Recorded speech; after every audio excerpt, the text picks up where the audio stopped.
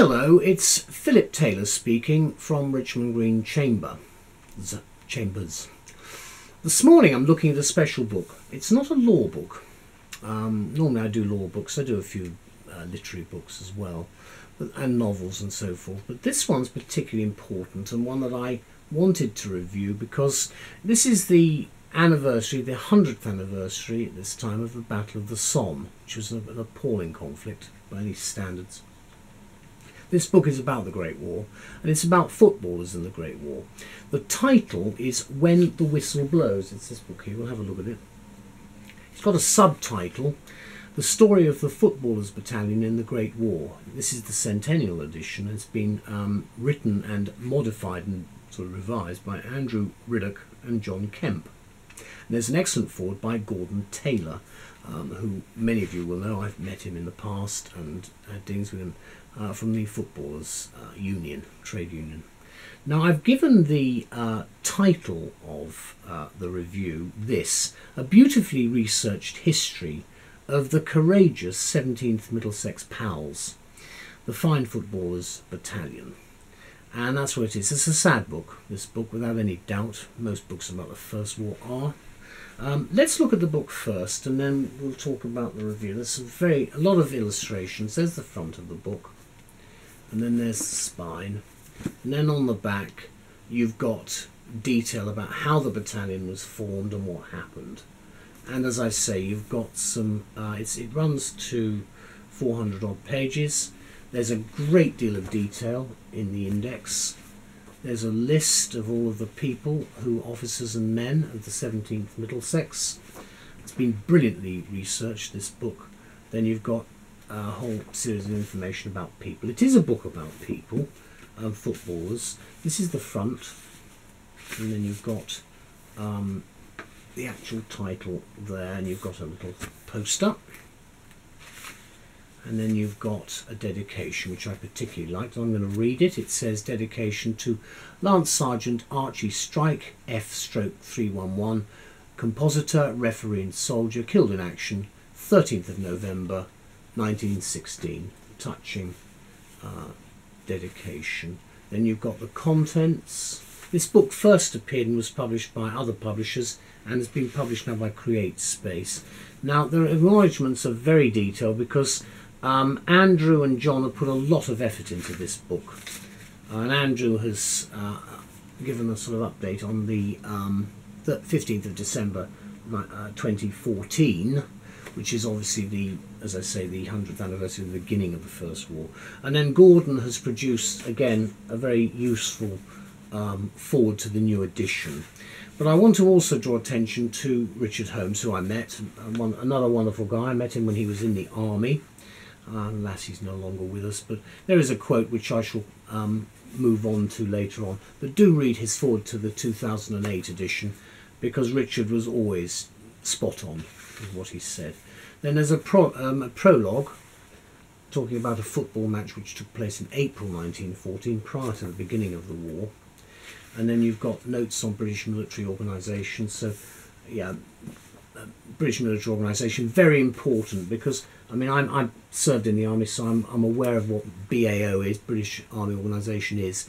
But what it is, it sets out what what what we mean by an army, a corps, a division, a brigade, a battalion, and so on. It's actually the structure. How many people are in the army group all the way down, and that's quite important for people who would not be familiar with um, the words we use in the army uh, for instance, battalion headquarters, brigade headquarters, divisional headquarters, and so on. Now, this then starts uh, talking about the greater game when football first started. We blame it on the Romans. then there are lots of photographs all the way through the book, and you can see here a lot of people um, photographed, all of course now gone as time goes on, and there we are running all the way through. And as I say, the, the sources and bibliography are admirable all the way through. This is a book I will treasure. I'm delighted that Andrew asked me to review this, and I'm just going to say a little bit about what I think of the book. Um, the sickness of heart, which one feels when receiving news of a bereavement, runs through this brilliantly and extensively researched book on a special part of the Great War's PALS battalions, the people of the footballers' battalions, or battalion rather. Now, Andrew Riddoch and John Kemp have produced a challenging picture of the footballing lives lost 100 years ago in their updated work, When the Whistle Blows. Now, there are other titles, there are other books of the same title, but this one is, is one of them, and obviously it's got a subtitle specifically mentioning the Footballers' Battalion. The authors have updated this special um, history, it's a military history, for the centenary of this terrible war. And I'm reviewing the title, uh, as I say, on the anniversary of the Battle of the Somme, and I wrote it round about the, the, the day itself.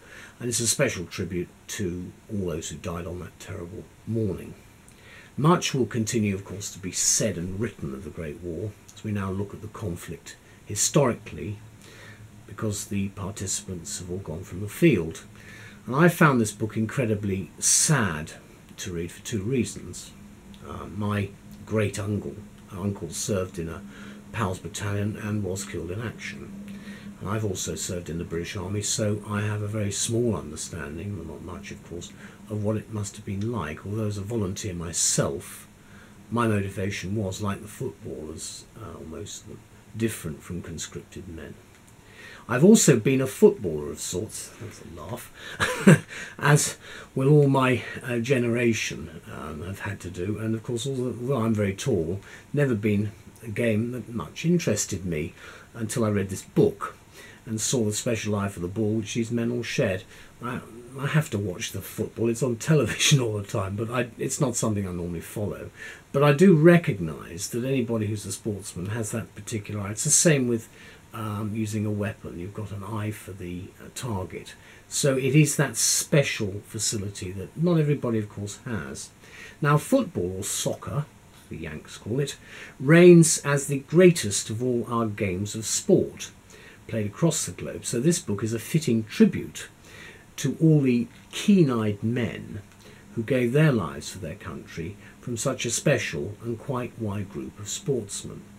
And my sadness is tinged with the special waste of life associated with these particularly talented people, although one could write that of any specific group who died in World War One. We've got the poets, we've got a whole group of different people, all of whom were involved in that terrible international uh, conflict. Now, the excellent Richard Holmes, who I mentioned earlier, wrote in 2008 quoting the authors, that the spirit of the professional players, amateurs, and club enthusiasts within the ranks of the battalion made a lasting impression on everyone who encountered it. And there would have been the camaraderie. There's always going to be that in any unit, but there was probably something special. Holmes sums it up for me with by saying that this is a beautifully researched history of a fine battalion and a lasting tribute to men who remained true to their salt when the whistle blew, not on manicured uh, greenswood, but in a muddy trench. And Richard always put it so well. Another splendid and sensitive comment about this book comes from Gordon Taylor, who says they paid the ultimate sacrifice, and we will remember them, as the book fully illustrates why it will be impossible to forget such heroes, and Gordon's absolutely right.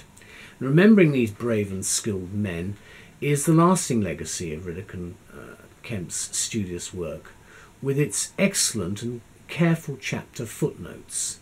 And the book should find its way, we think, into most football clubhouses in the land as a memorial to football and footballers. One can, of course, but hope.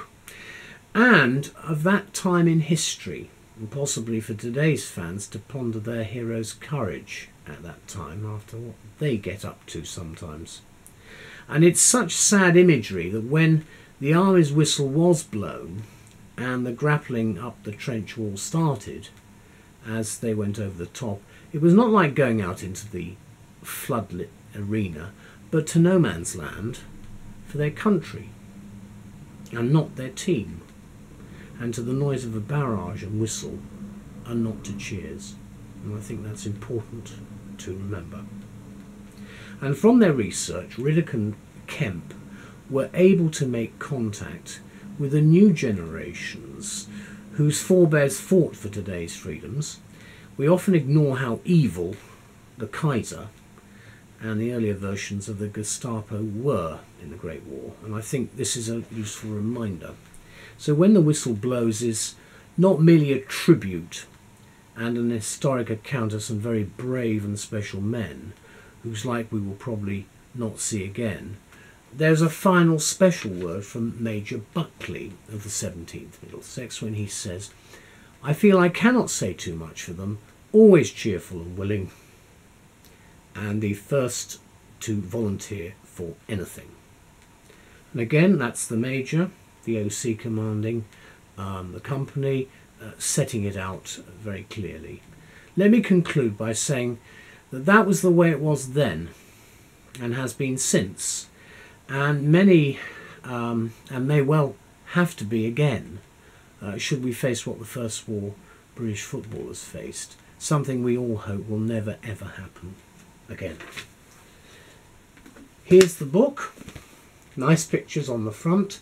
You see from, there's the spine, you see from the back such a large number of football clubs were involved. Of course, everybody was involved, and you can see all the names of the people. And it's nice to see. This is history. It's a social history as much as anything else, although this is military. But it's about something which is very, very important to very large numbers of people. It's the final whistle that explains what's happened towards the end, and these are some of the uh, memorials to the people concerned. Most people love football, and I think this book is a great um, tribute. There's a Spurs player mentioned there. So you've got quite a lot, and I'm not picking any particular clubs, you would understand. So I get Bright, Brighton and the Hove Albion as well, just, just to balance it. And here is the front again. And as I say, I'm very grateful to Andrew and John for um, producing this book and what must have been a huge amount of work. And it's useful too with the 17th Middlesex to at least give them a little bit of um, a little bit of a, uh, an advertisement for what they did because it's a special unit. So thank you very much to all concerned. It was a nice tribute to do this review and uh, made me think. Thank you very much to all concerned anyway. Bye bye.